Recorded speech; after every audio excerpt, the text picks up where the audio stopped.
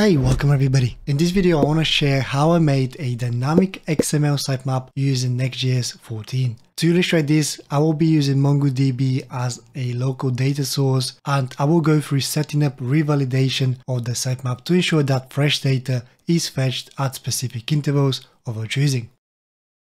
Hey, welcome everybody and let's get started. I've already created a brand new Next.js project and for this tutorial I'm going to be using a local MongoDB database which I've created earlier and we're going to be connecting to this website database that has a couple of posts. If we go to the official documentation of Next.js and I'm using the app router, so search for sitemap.xml, essentially we want to have something like this at the end of the video. If you scroll down a little bit more, here we have the generate a sitemap and essentially we just need to add a sitemap.js file into our app directory and mostly just copy the code from here. So if I select JavaScript instead and copy this code, let's jump into Visual Studio Code and inside the app folder, let's create a new file called sitemap.js and let's paste the code here. Save it. And if you have a look super quickly, this is a very basic sitemap where you have the URL of your website, the last modified, which is using the current date, and we have the change frequency,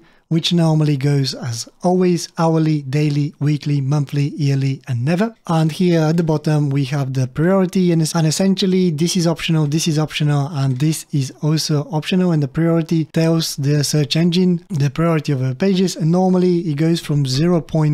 0 to 1.0 being the highest and as default I believe that if you don't set priority it's going to be 0.5 as default. And now if I save this and if I go back to the browser super quickly and make sure that this is running, yep, all good. And if I go to the website and put slash sitemap.xml, you should see that your sitemap is already working. And I believe that my browser is making the XML look nice for me. Now let's have a look at how we can make this dynamic so the content comes from the database and then every time we add a new blog post for example we can refresh the content at some point whenever we like. I've already done the connection to my database. I've got it here in a .env local. Essentially I've got a MongoDB URI connection which is just a local connection for me and I've got a next website URL that I might use for this example. The connection is actually fairly basic.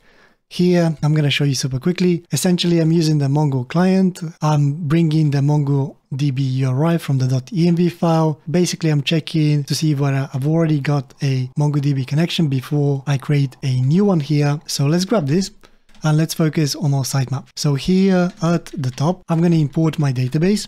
So import, and I'm going to say connect to database and this comes from at utils connect mongo for me the file that I was just showing you and now we can connect to the database. So from here let's create a const and this const is going to be client equals and then await connect to database like so but because we're using await we need to use an asynchronous function so async. And now we need to select our database const db equals client dot db and then we put the database name, which for me is website. Here it is, cool website. And now we need to get the collection of posts. The next bit would be let's uh, store all the posts into a const data equals await and then db.collection. We grab the posts collection and then we find all the records by doing find curly bracket to get all and then to array.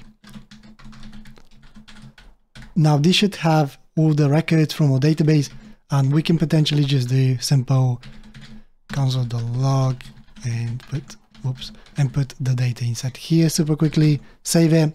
Of course nothing yet but if you go to the sitemap and refresh okay we should get the results in here which is great which means that we can now loop through them and insert them inside here.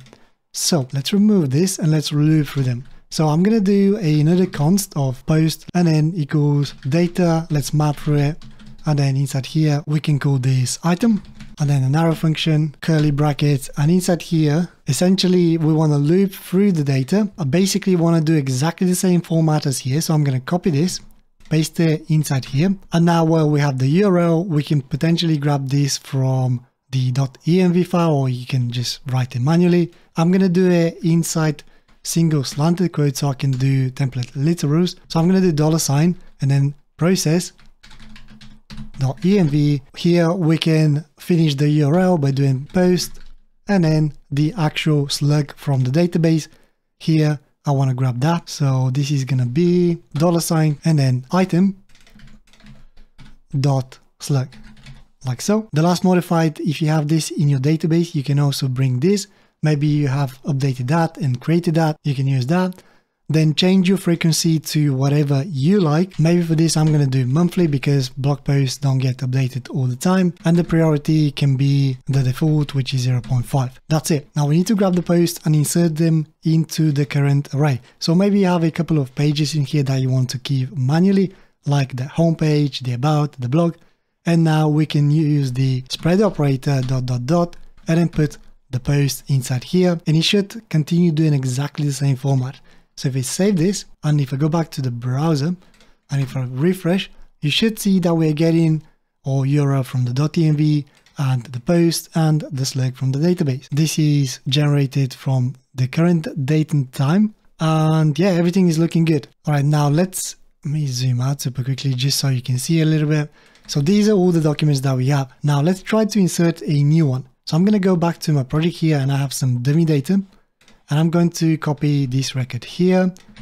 Let's go to the database and let's go here to post, insert document, and I'm just gonna paste one more document, the art of cooking. So if I insert this, and if I go back to my website and refresh, you will see that this is also working, which is great. But the reason that this is working is because we're currently in dev mode and this means that Node.js is restarting the server and that's why it's getting the latest changes. But if I was to build this project, so I'm going to do npm run build. And now let's do npm run start. Okay, we have our project running. If I refresh it, everything looks the same. Let's try to add one more record.